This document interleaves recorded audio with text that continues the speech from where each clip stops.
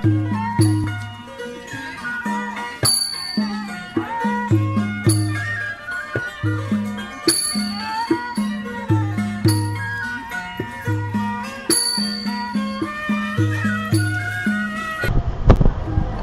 រយៈសុភាសិតខាងលើនេះ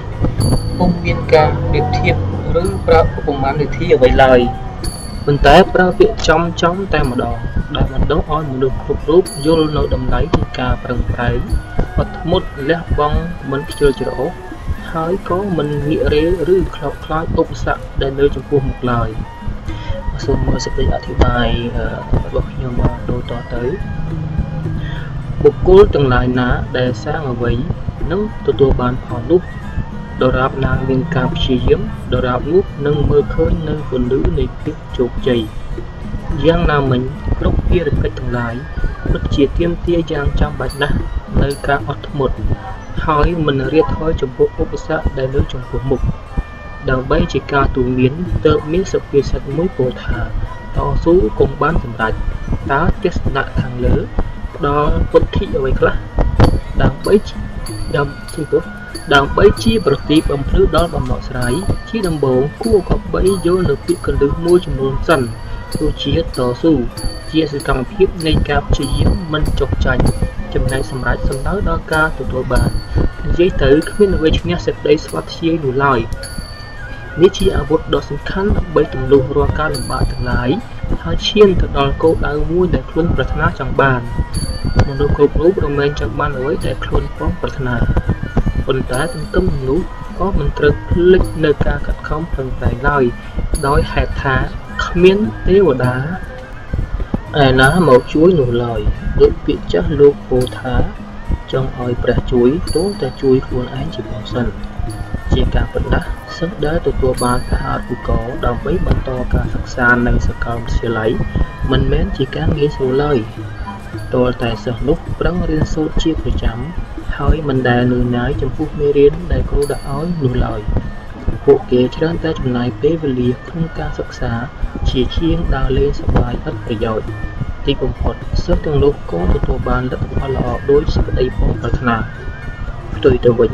អ្នកដែលកិច្ចសាលាសេពគប់មិត្តមិនល្អប្រើប្រាស់គ្រឿងញៀនជាដើមរមែងខាត់បងទ្រព្យសម្បត្តិ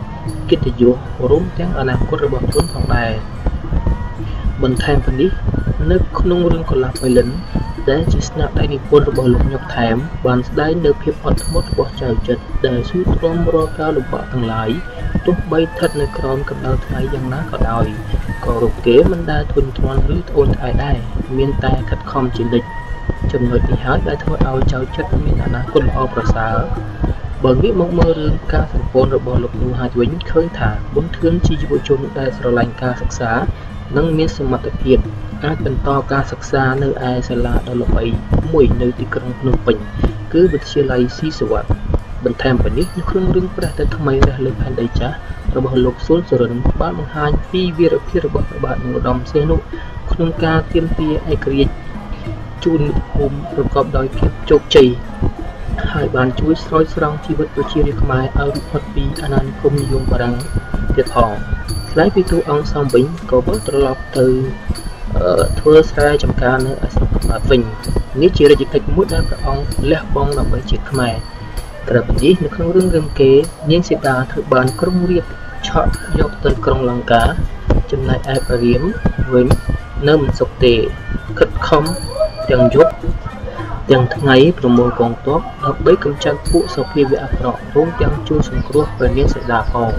ទីបំផុតព្រះអង្គក៏អាចបង្ក្រាបក្រុងរាពណ៍បានហើយក៏យកនាងសីតាត្រឡប់ទៅនគរវិញមួយវិញទៀតនៅក្នុងរឿងសុផាតរបស់លោករីមគីនតួអង្គសុផាតជាក្មេងដ៏កំសត់ម្នាក់ត្រូវម្ដាយស្លាប់ចោលតាំងពីនៅជាទារកចំណែកឯឪពុកក៏មិននៅក្បែរខ្លួនទៀតក៏ប៉ុន្តែរូបគេមិនបានជួបត្រឹមនឹងឡើយគេក៏លាព្រះចៅអធិការវត្តដើរស្វែងរកឪពុកនៅទីក្រុងភ្នំពេញទោះមិនបានទទួលផលអ្វីក៏ដោយរហូតដល់ចាប់ចិត្តស្រឡាញ់នាងបានយ៉ាង ទាស់តែយូរបន្តិចទើបដឹងថាលោកអធិបតីសេនាជាឪពុកបង្កើតរបស់ខ្លួនផ្សេងពីនេះនៅក្នុងរឿងទុំទាវរបស់ព្រះភិក្ខុសោមបានបង្ហាញអំពីសេចក្តីស្នេហាដ៏ប្រោកដាច់របស់ទុំនិងទាវគ្រាដែលនាងទាវត្រូវបានបញ្ជូនទៅដល់រាជវាំងនៅក្រុងវង្វេកដើម្បីត្រៀមខ្លួនធ្វើជាស្នំឯករបស់ប្របាទរាមាជាងព្រៃក៏ប៉ុន្តែពួកគេទាំងពីរបានបដូរធ្លាប់រស់ហ៊ានសារភាពរឿងរ៉ាវស្នេហារបស់ខ្លួន ទៅកាន់ព្រះរាជាចុងក្រោយព្រះអង្គក៏ព្រមឲ្យអ្នកទាំងពីររៀបការជាមួយគ្នាទៅតាមប្រពៃណីខ្មែរសរុបសេចក្តីមកគ្រប់ភារកិច្ចទាំងឡាយអាចទទួលលទ្ធផលបានលុះត្រាណាតែបុគ្គលនោះប្រឹងប្រែងនិងខ្នះខ្នែងបំផុតដោយមិនខ្លាចការនឿយហត់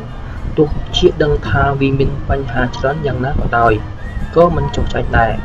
តួយ៉ាងមាននទាហោដូចក្នុងអំណោយស្រែខាងលើស្រាប់យោងតាមការបកស្រាយដ៏ពិស្ដារខាងលើគេអាចសន្និដ្ឋានបានថាសុភាសិតនេះពិតជាពោពេញទៅដោយកម្រិតអប់រំដ៏ប្រសើរសម្រាប់ក្រើនរំលឹកដល់ជំនានុជនទាំងឡាយឲ្យប្រតិបត្តិតាមដើម្បីកសាងអនាគតក្នុងនាមជាអ្នកសិក្សាក៏ដូចជាកូនខ្មែរ គួរកបីលះបង់នៅភាពខ្ជិលច្រអូសហើយស្រវាចាប់យកការសិក្សាវិញដើម្បីកែប្រែវាសនារបស់ខ្លួនឲ្យទាន់សកលភាវូបនីយកម្មនេះបាទតើតើអត្ថបទនេះដែរបើសិនជាបងប្អូនទាំងអស់គ្នាមានចម្ងល់ឬមានបញ្ហាត្រង់នោះអាច comment នៅខាងក្រោមវីដេអូបានហើយខ្ញុំនឹងឆ្លើយតបភ្លាមៗ តែកុំភ្លេចចុច subscribe និងចុចសញ្ញាកណ្ដឹងផងដើម្បីងាយស្រួលទទួលបានវីដេអូតែសេចក្តីនិងសម្លេងផ្សេងៗទៀតនៅពេលក្រោយសូមអរគុណ